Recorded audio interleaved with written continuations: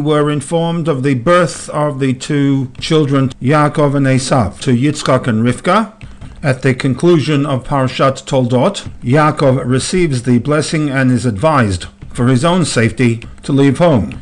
In Parashat Vayetze, Yaakov leaves home, travels into what was considered then Chutz La'aretz, works for Lavan for 22 years, marries Rachel Leah Bilhah Zilpah, has 11 children, and 34 years after his departure from home, he returns back to Eretz Canaan along with three of the wives and his children. Rachel dying mid-journey and buried Derech Ephrat.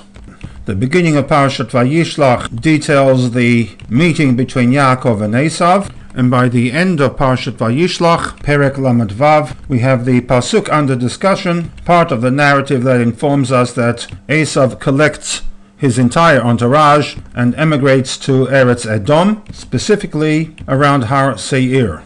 Which brings us to the key question to understanding the Rashi, one that relates to the statement that Vayelech el Eretz mipnei Yaakov achiv. But first, two assumptions. Firstly, that despite Esav's anger with Yaakov for usurping the right of the firstborn brachot, 34 years later, this anger had subsided, and from the Pshuta Shel Mikra of the text, upon Yaakov's return from Haran, there was a reconciliation between the two brothers. A second point, there is nothing within the text that suggests that Esav was forced to emigrate to Eretz Edom. There is no evidence recorded in the text of a battle, a dispute, that would have forced the two camps to separate, as was the case with Avraham and Lot, in which the two camps needed to be separated on account of the threat of violence from the shepherds of Lot. Here, there is no indication from the text of any ill feeling, neither from Yaakov to Esav or Esav to Yaakov, and therefore it is fair to assume that the Vayelech el Eretz mipnei Yaakov achiv was a conscious decision that Esav had made, one in which he was not forced to undertake against his will.